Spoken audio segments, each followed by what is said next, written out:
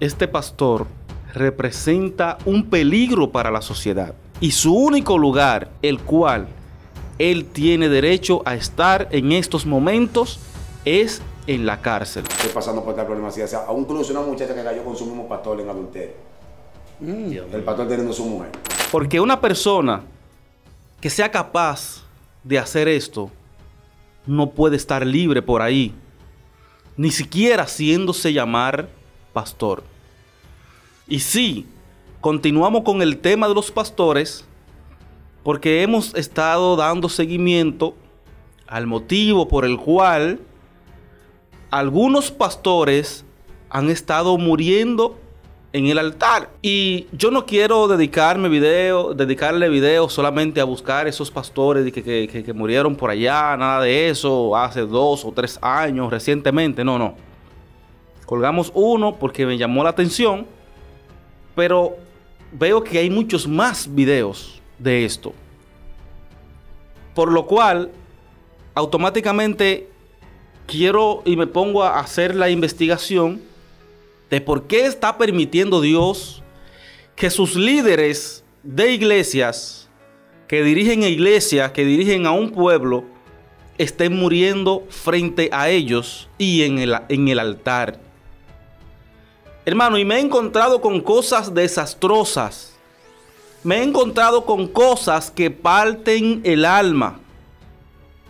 Como lo que voy a hablar ahora mismo, en este mismo video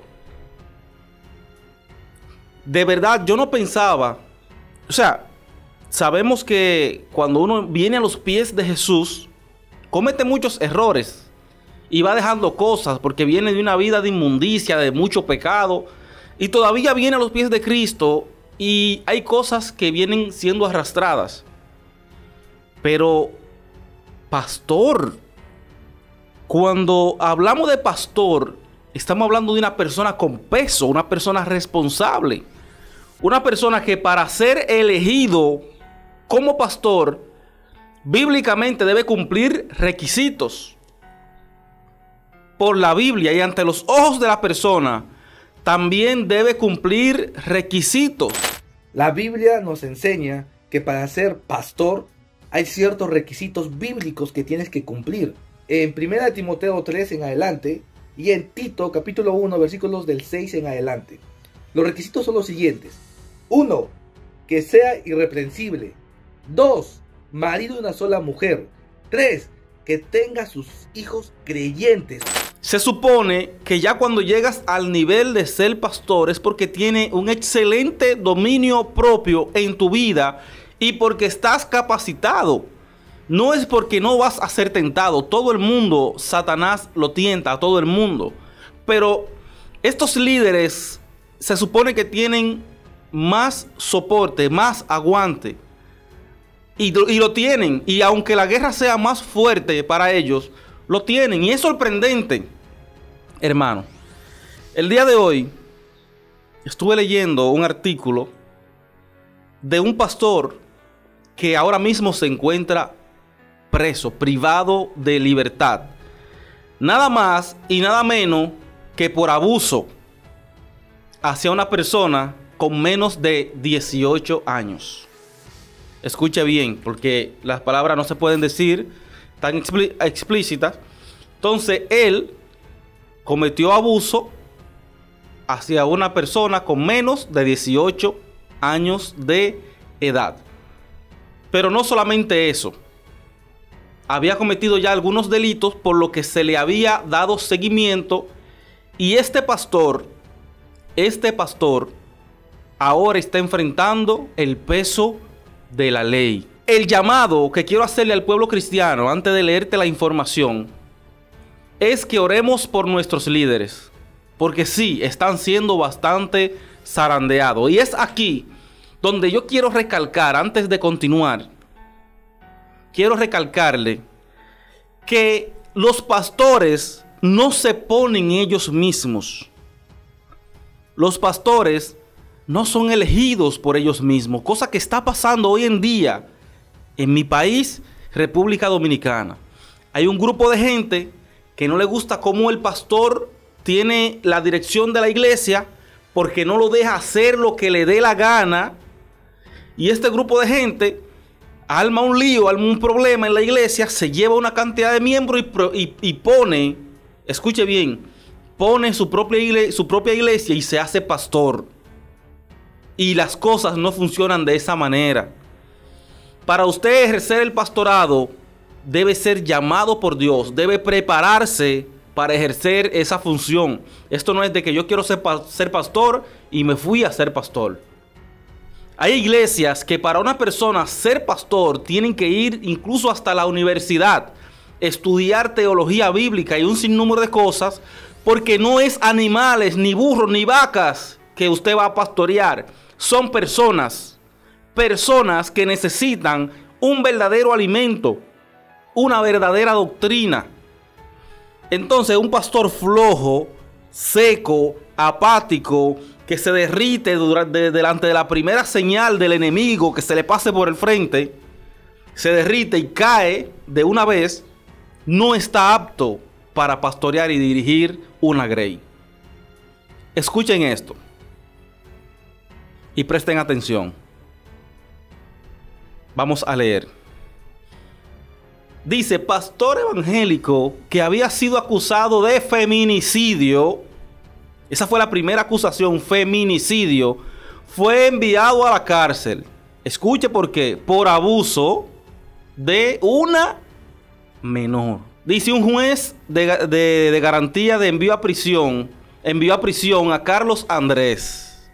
Por considerarlo un peligro para la comunidad de Montería en Córdoba. Eso fue este mismo año. Este mismo mes. Dice, un nuevo caso se abre en contra del pastor evangélico, pastor evangélico de 41 años de edad.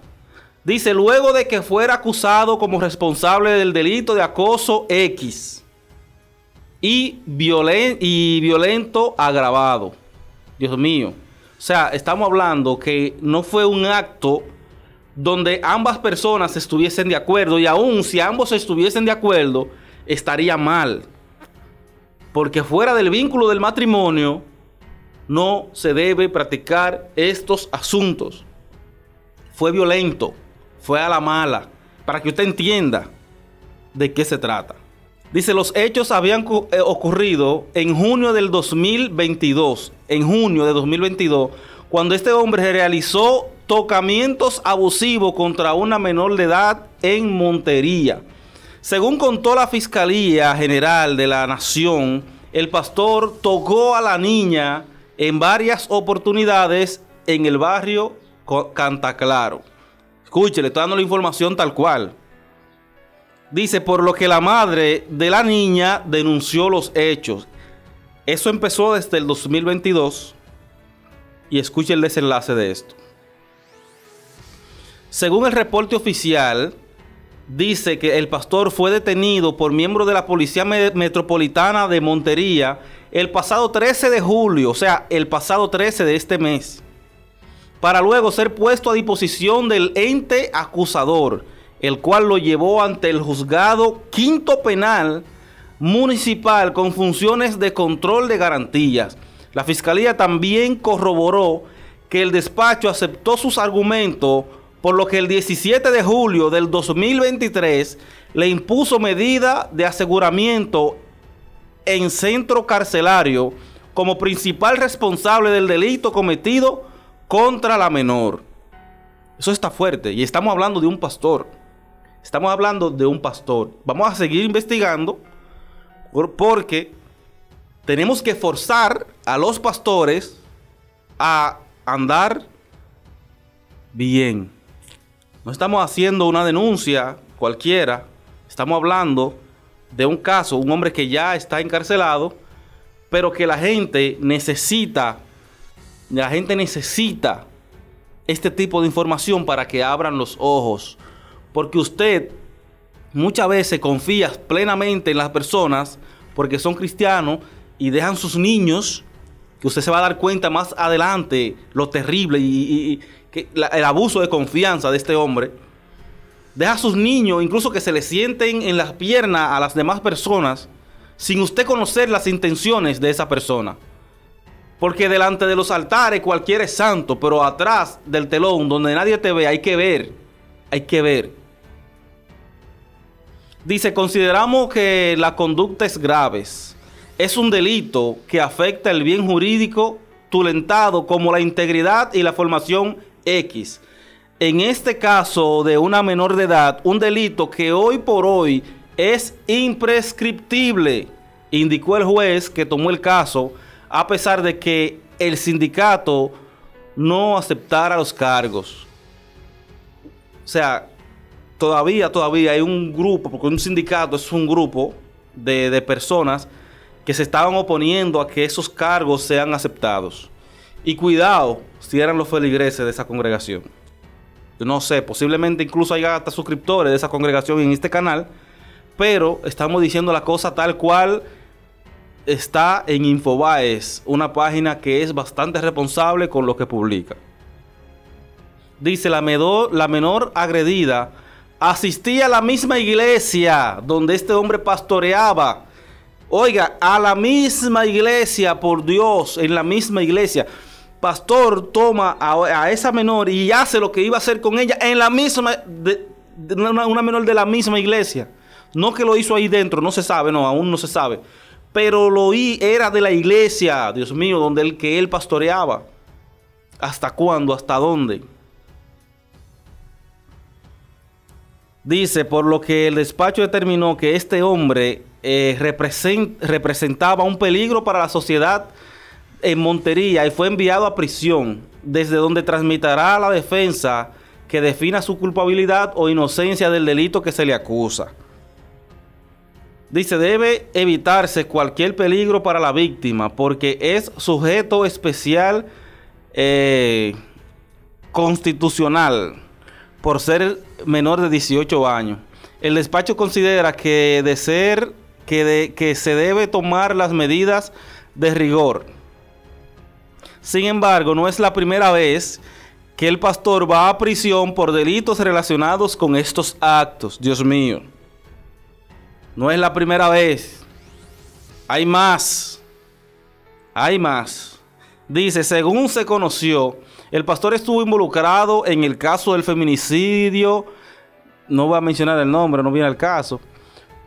Por el que paga una por el que pagan una condena de 43 años de prisión dos personas a quienes la justicia señaló como los autores del asunto este. Dios mío. Dice, el hombre terminó involucrado en el caso luego de que un testigo de la, de la muerte del estudiante de primer semestre de matemáticas en la Universidad de Córdoba identificara a Quesada como uno de los, de los perpetradores de ese asunto y fuera enviado a prisión en, 2017, en diciembre de 2017. Eso es grave. Dice, el pastor también fue reconocido por una amiga de la víctima, además de revelarse que este hombre era cabeza de la iglesia donde se congregaban. Wow. Escuche bien, en el barrio, en el barrio Cielo, barrio Cielo, también se supo que la hermana de la universitaria testificó que Quejada mantenía una relación sentimental con la joven. Señores, señores, pastores, pónganse a cuenta con Dios que cuando Estamos mirando el por qué está Dios o están cayendo pastores abatidos en el altar ahí mientras predican. Estamos viendo que la cosa es grave. Estamos destapando algo que está ahí prácticamente oculto, cosas que no se ven en los medios y que nadie habla de esto, porque los pastores hay que respetarlo y porque a los pastores hay que, taparle las sinvergüenzadas que ellos hacen y uno tiene que quedarse callado. Por eso usted no se da cuenta de que estas cosas están sucediendo alrededor del mundo. Pues se le acabó el relajito, se le acabó el juego, usted no quiere que cosas como estas salgan a la luz, pues no cometa el hecho. No, pero hermano, usted está denunciando, no estoy denunciando a nadie, estoy abriendo los ojos, estoy trayendo una noticia porque he visto los videos, como dije al principio, de que los pastores se están cayendo en los altares ¿Pero por qué? ¿Por qué motivo? Pero ahora yo estoy entendiendo el por qué. Ahora yo estoy entendiendo por qué te lo ve muy bien de repente, ah, que fulano se fue. Hay problema. Algo no está bien. Algo no está bien. Algo está marchando mal. Y uno de los problemas es esto. Pero oye, ahora los pájaros le están tirando las escopetas. No importa, piense lo que usted entienda. Porque siempre van a querer justificar los actos diabólicos, satánicos que hace la gente. Y entonces el malo viene siendo quien lo expone. El malo viene siendo quien lo expones. Y aquí no, no estamos, hermano, hablando por hablar. Hay una preocupación, hay un tema, hay un desorden que debe resolverse. Y vamos a seguir investigando más a fondo. Porque deben haber más casos. Deben haber más cosas ocultas. Gloria al Señor. Esta noche, bueno, después de este video va a salir una importante revelación que usted debe escuchar, debe prestarle atención.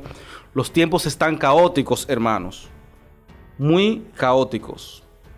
Así que póngase a cuenta con Dios. Ore por su líder, por su líder inmediato. Ore para que el Señor lo guíe y le permita tomar las mejores decisiones, no decisiones como estas, que le permita tomar decisiones que sea para su bien espiritual, que le dé fortaleza, que le dé aguante, que le dé soporte, porque no está fácil ni está bien la cosa. Dios te bendiga suscríbete al canal, activa la campana de notificaciones para que no te pierdas ninguno de nuestros videos y nos vemos pronto.